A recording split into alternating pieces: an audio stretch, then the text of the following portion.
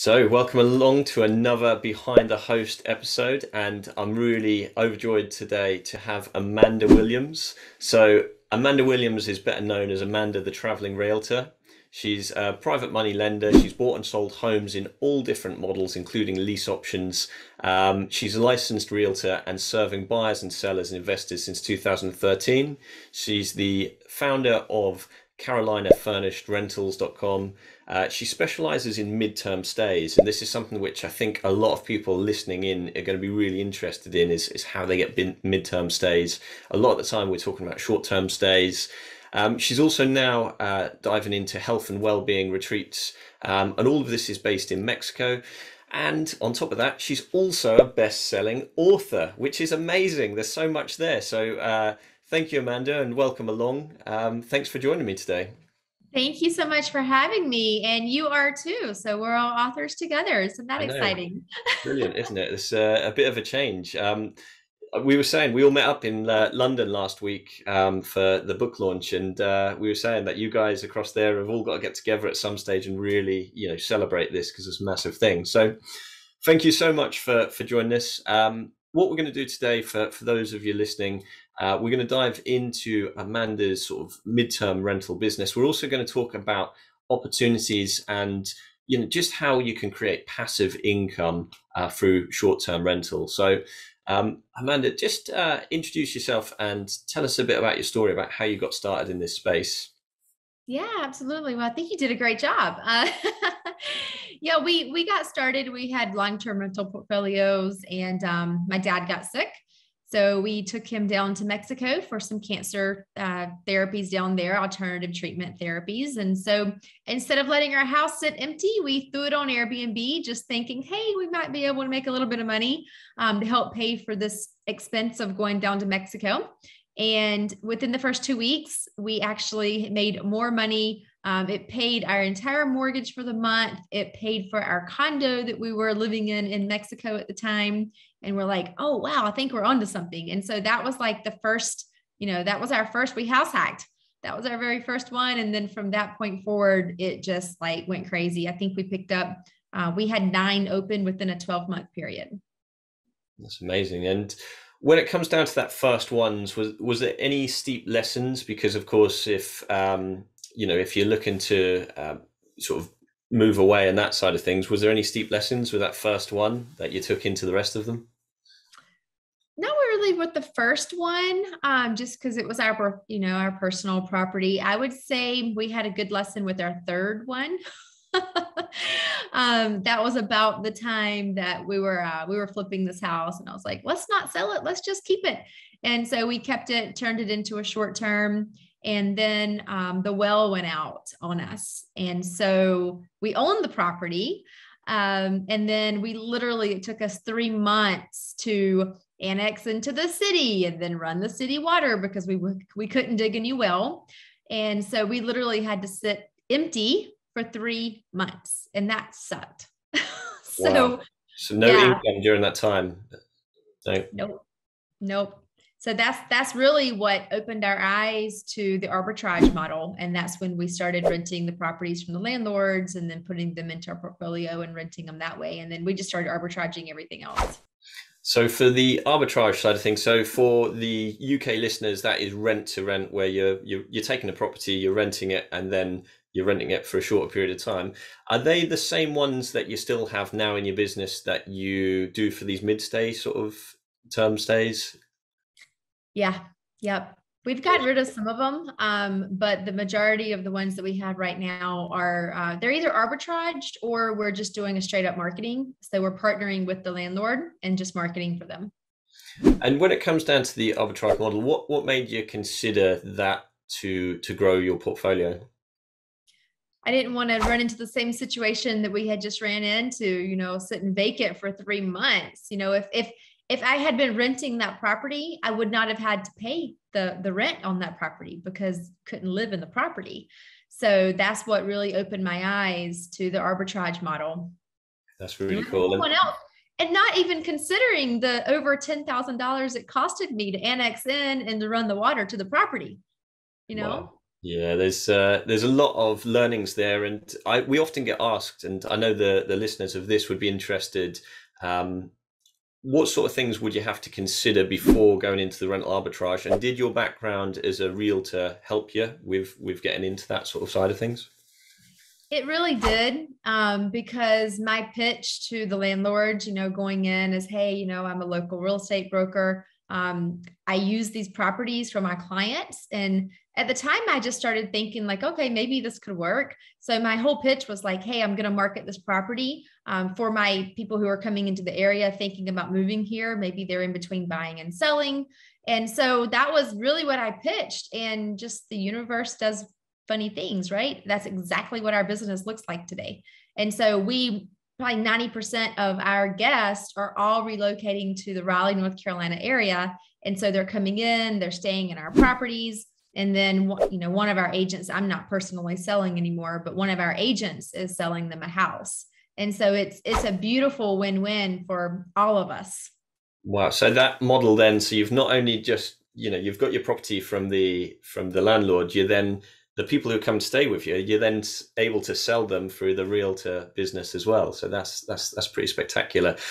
And for the people listening who want to get into that kind of market where in, in the UK definitely there's a lot of um, you know sort of properties going through and the conveyancing time is taking a long time at the moment so that means there's quite a lot of people who are looking for somewhere to stay they've sold their house or they're looking to buy a house and live somewhere short term what sort of things should owners be considering to be able to get into that market? And what are the benefits for offering these kind of mid-stay terms? So not just over a weekend or a week, actually looking for, you know, looking after your guests for longer periods of times. And just as a, as a on top of that question, what kind of lengths of time are we looking at for for the people staying?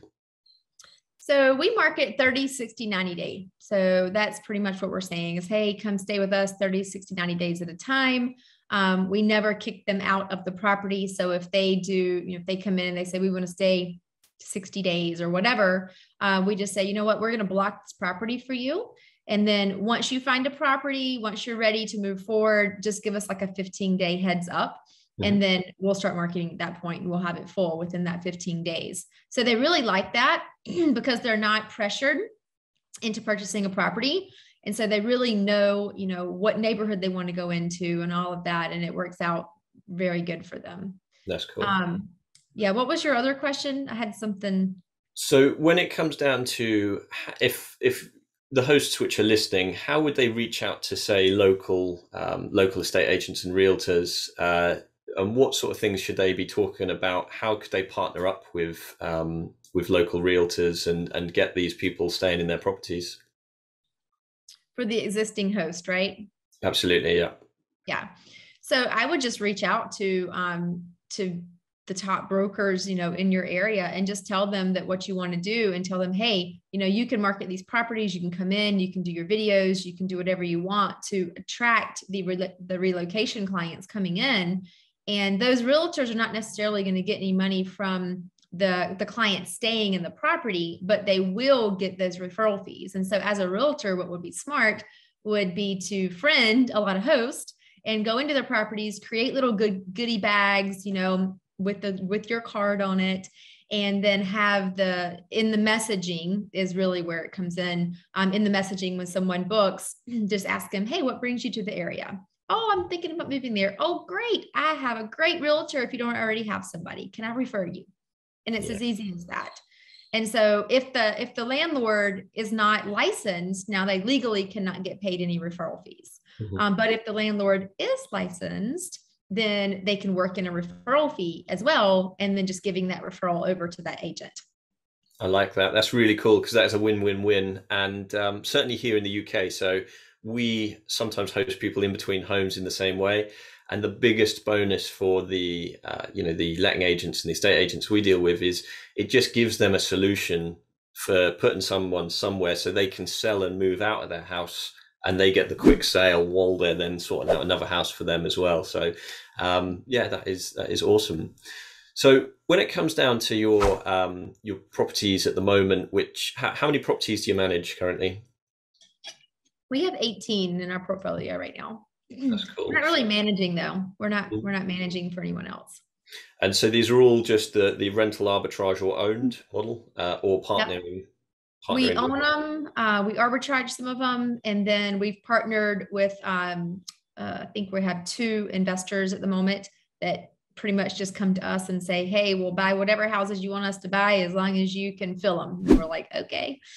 So, That's cool. That's cool. I mean, if we talk a little bit about that side of things as well. So, when you've got that kind of um, trust from an investor, what is the decision making about properties that you would take to your investor, and what sort of things do you look for?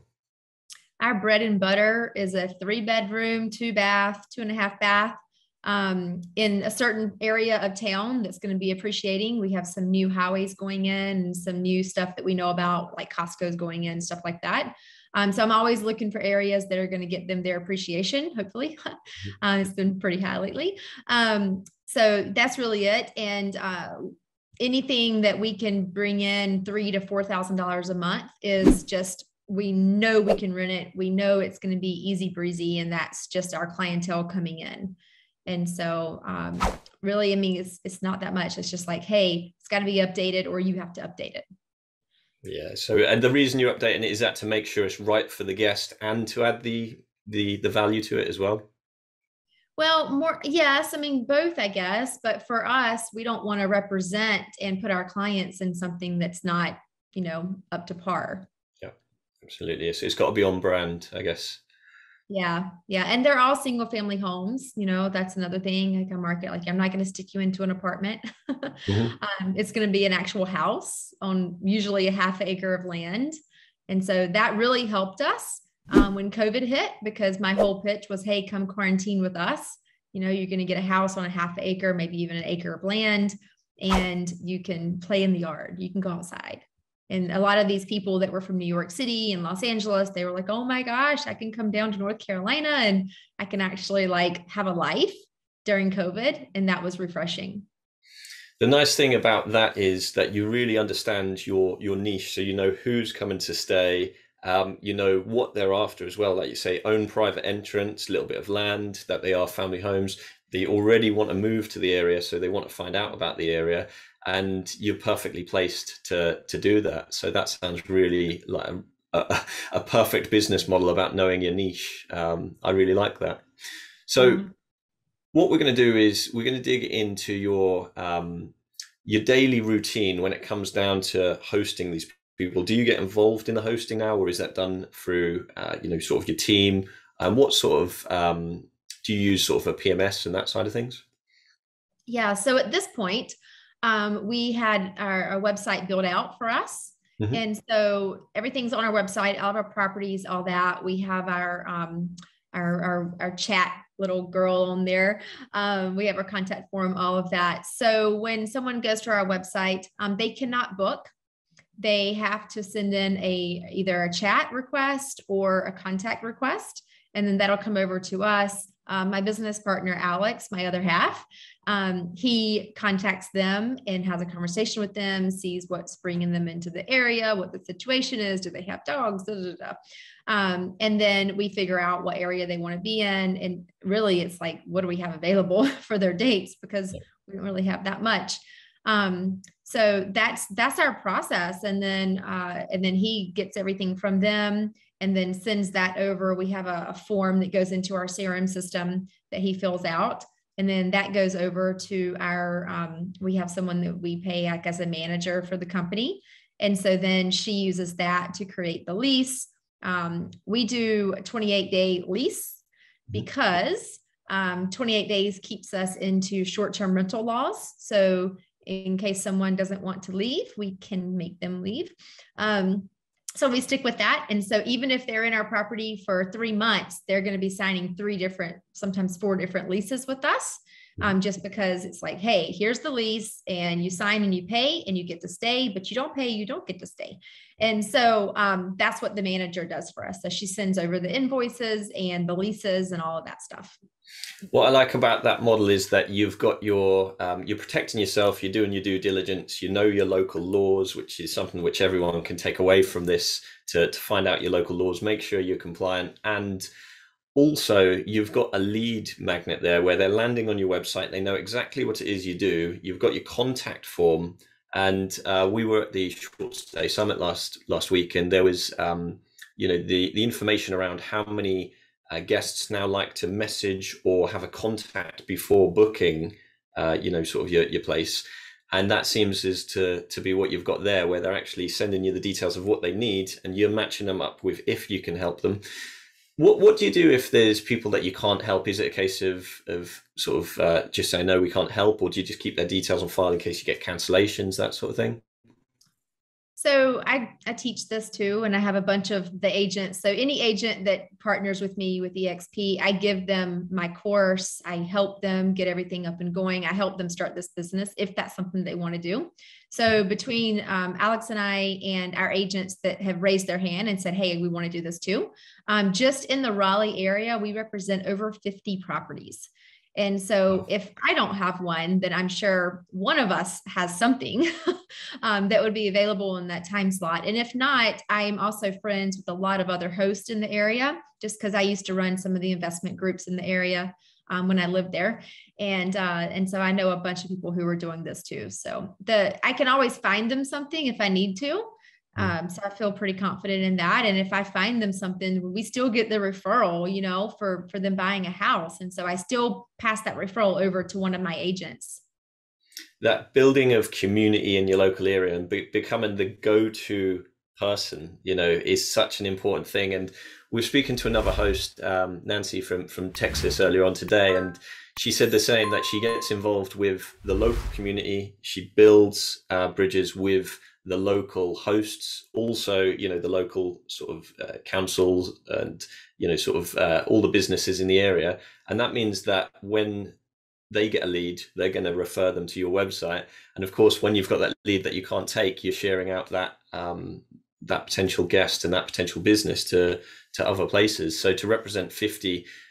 I, guess it's a case of you can fill your 18 first with the main contracts and then you know you can hand over the the overflow which is such a good business model. And uh, becoming oversubscribed is is so important. So that is amazing. So one of the things we mentioned just before the call is something that you're doing uh, now different to your mid-stay business and i'm excited to talk about this. So it's a health and well-being retreat and uh, yeah just talk us through this this new business that that you're launching yeah so i've been in cabo since june of 2020 um, I literally came here for a real estate mastermind that I'm a part of, and I didn't leave.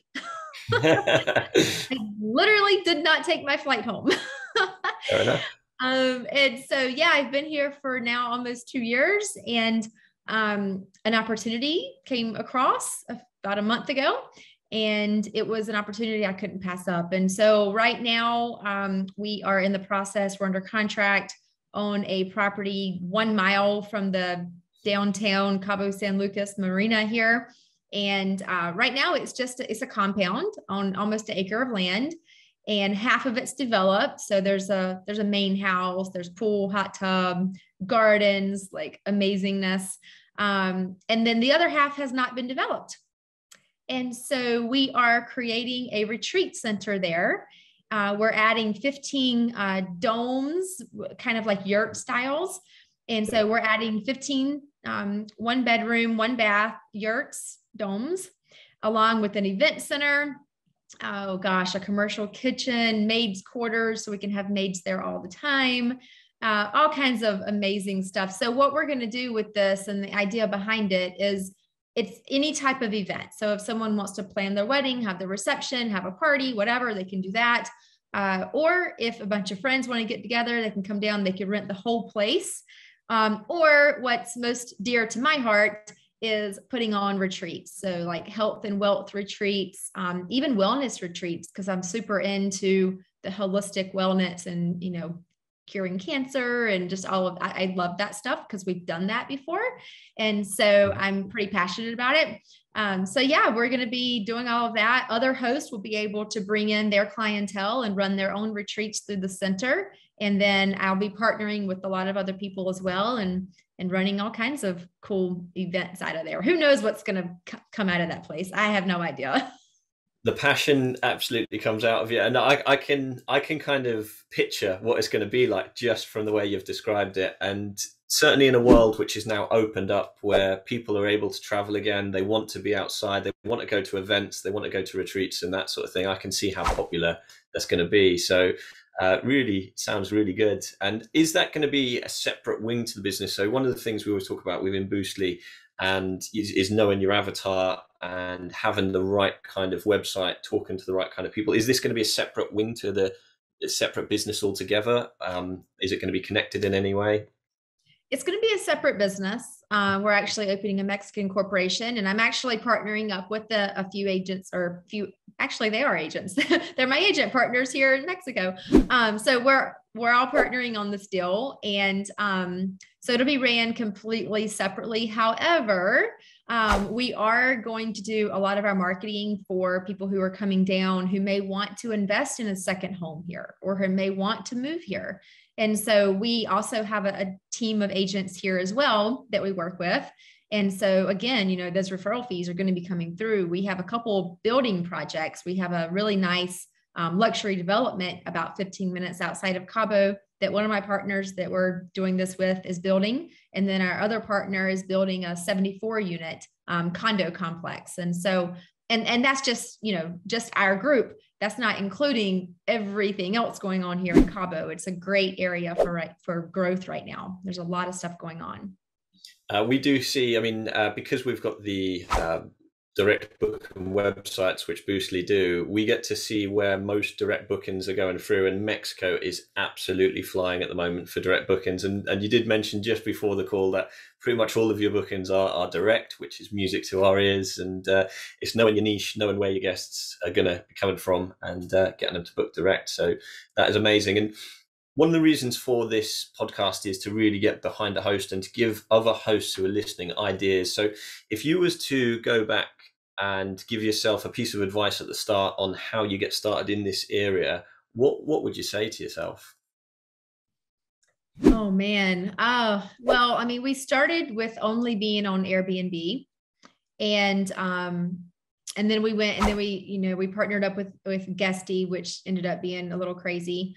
Um, and then we've been through, I think we're on our third website right now, like actually paying to have someone build out a website. And it was um, it's been a learning experience. And finally, we've got one that like I'm happy with, you know? So I would say, you know, vetting out whoever it is that's building out your direct site like you know you guys i think you guys build out the sites for them right? 100% we've got uh, there's two different choices but there is a couple of different project uh, products for everyone. So um, yeah. Yeah so we may need to talk about the cabo retreat center site because that's going to have to be a whole new site. Hey let's have a call. Let's have a call. Yeah um, so yeah, I mean, I, I would say just just getting all of that, you know, the foundation built, keeping your books um, on point from the very beginning. That's huge. I did not do that, I have to say. And also, if you're only on Airbnb, you're at a huge risk. Huge. Um, I actually lost my Airbnb account and I did nothing wrong. Like they would not even tell me like why they kicked me off of Airbnb. I had a 4.87 rating, Superhost, over 500 reviews. And all of a sudden, just one day, everything was suspended. So this went on for months, and I was calling two, three times a week, and oh, we'll call you back. Oh, we'll call you back. They never called me back, and they never told me what I did wrong. Um, the only thing I could think of is I listed one of my buddy's properties here in Cabo just because, like, he's our friend and he was going to put it on the market, but it was like a three month period. And I listed it and I put his Canadian checking account on there for Mexico property. I'm like, did I break a law? Like, I don't know. Is that a law? I have no idea. That's the only thing I did that was like, maybe I did something wrong, but I never got an answer. So we had to create a whole new Airbnb account in Alex's name. Um, but it, honestly that's one of the reasons why i'm just like i'm i'm not even putting anything else on airbnb. Like if i have to i will but i am i preach direct bookings nonstop now. Music to our ears. And one of the things that mark simpson often says is uh, we can't build our business on somebody else's land which is is is you know what happened with airbnb when they closed during the pandemic. A lot of people struggled or even went out of business. So looking back, was that challenge one of the defining moments to for you to decide? And as hard as it was at the time, is it? Would you say it's helped shape your business now? Yes. awesome. Yes, and, and I'll tell you something else. If we hadn't have had our own website going and my own marketing going out, we would have been bankrupt as well because we got we only had our calendar open for two months at that point in time um, because we were starting to get some of these relocation people coming in. But even just those two months we lost $60000 overnight you know um, just with bookings vanishing. And so thank god we were able to get everything booked through the, the direct booking. I went i did a boatload of social media and i got everything full within two weeks which was like crazy. Um, but that's the thing, like they can literally pull the plug at any point in time and your entire business is gone if you're only on one site. So that's really scary. This is exactly what we preach. And that is, um, you know, that, that is so good to hear that one, you managed to turn it around and two, um, I mean, just just diving into that, you, you said a boatload of social media. So, what did that look like, and uh, how did you go about doing that? Yep. So uh, I uh, okay. So there's this group. It's called the Raleigh Community Group. Um, and so I went on. That was the main one that I got like the most eyeballs on mm-hmm. um, mm-hmm. because I went on there and I was just like, hey, you know, we've got um, we've got these properties at the point at this one particular property that I was marketing was on four acres of land. And so it was a three bedroom, two and a half bath on four acres of land. And I started marketing. I'm like, hey, the perfect client for us is someone coming down from maybe New York City or someone living in an apartment with a bunch of kids and having to work from home and now Zoom home, Zoom school. So come down, quarantine with us. So keep in mind, our properties are in North Carolina. There's um, there's some controversy between the New Yorkers coming down to North Carolina. And so uh, I did that, and I got a lot of people mad at me because I was bringing the the people from New York down who had COVID because they lived in a big city. I was bringing COVID to Raleigh, and it was all my fault.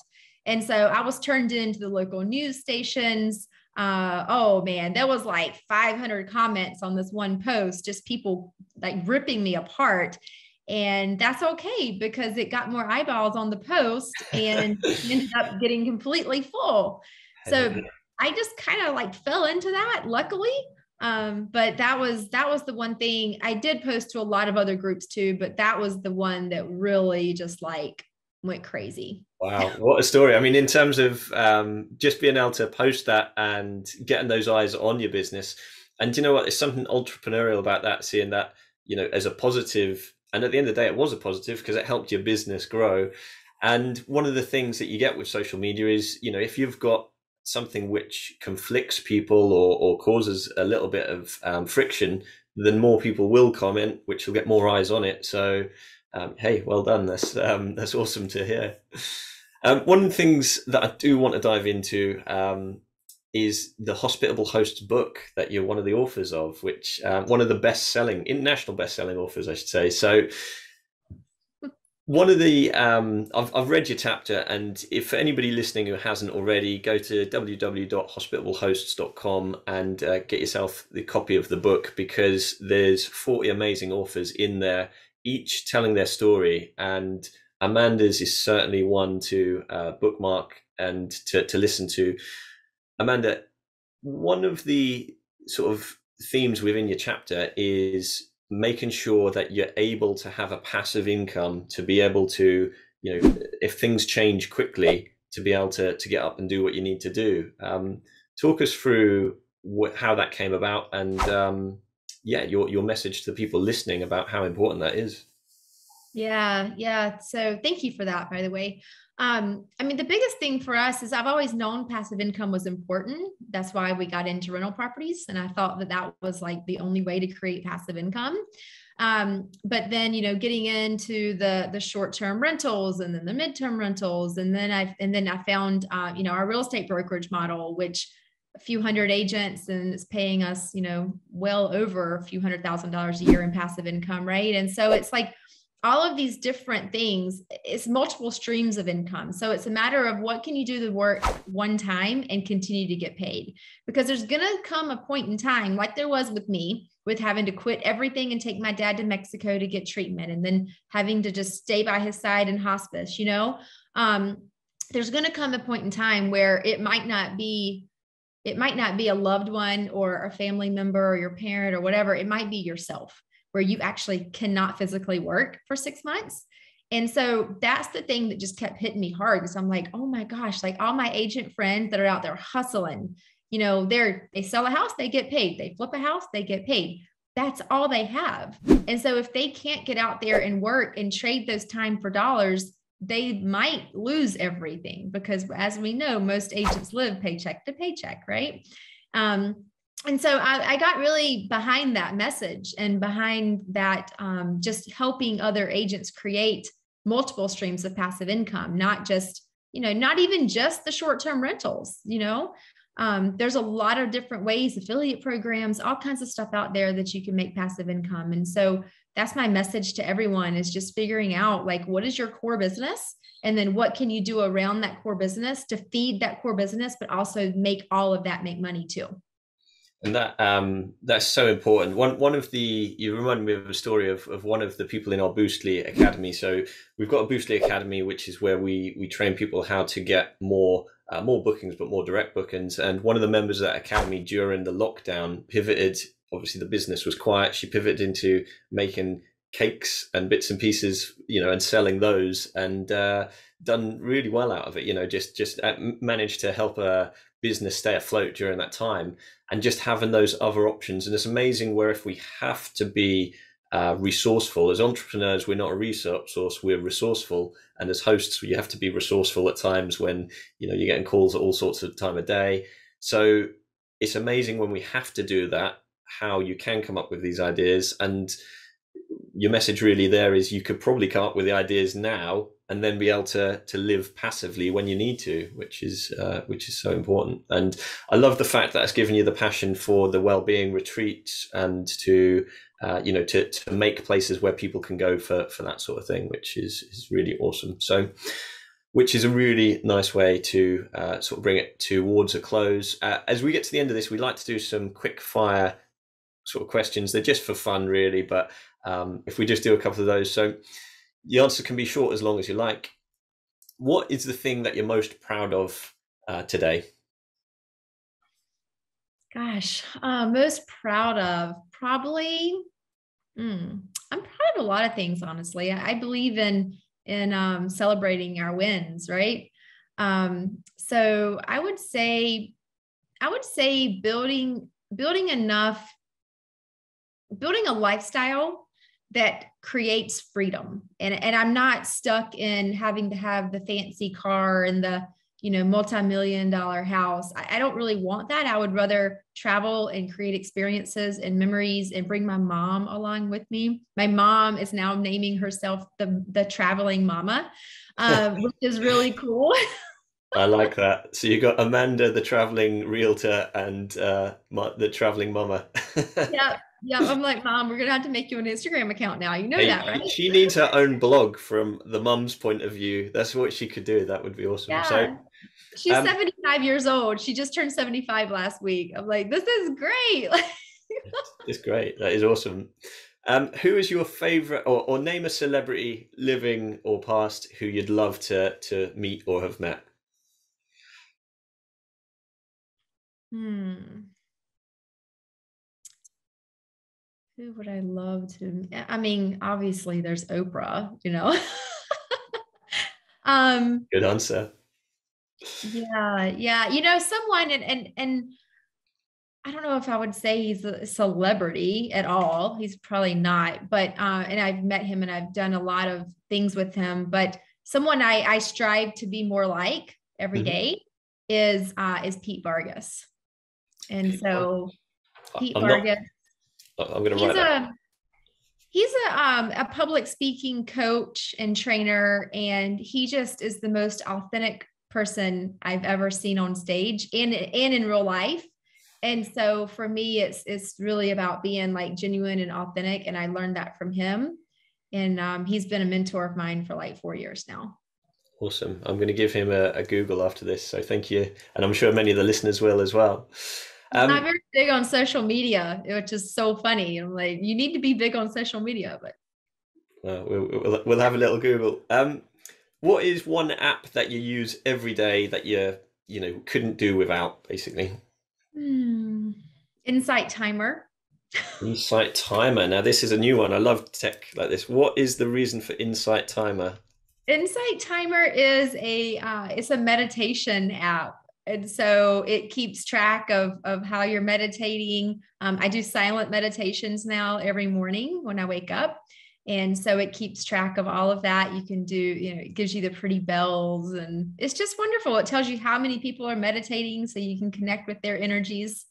Meditations changed my life. I think I'm on my uh, I think today was actually my hundredth consecutive day, so that's pretty cool. Congratulations! That is. Um, I, have not tried it myself. I've I've tried the early morning routines, but I do hear some really good things about making some time for meditation. So uh, it's definitely one to look out uh, look out for. So, well, that is awesome, Amanda. I'm really pleased to have met you. I feel we've we've got to know your business and you, and the passion definitely shows through. Um, just so the people listening, if they want to get in touch with you and find out more, what's the best way to do so? Yeah, so I'm Amanda, the traveling realtor on everything. You can go to my website, amandathetravelingrealtor.com. I'm all over social media. Like you literally just Google that and you're going to see everything about me. amazing. Amazing. So, Amanda, thank you so much. It's been a real pleasure having you on Behind the Host. Um, thanks, and I wish you all the uh, best of luck with all the ventures for the future. Um, so thanks again. Thank you very much. Having a blast, gonna get it on the Boostly podcast. Bruce Lee like Bruce Lee, cause it's so hard and the T is loose leaf. Making up those rhymes, don't write it, just do it loosely.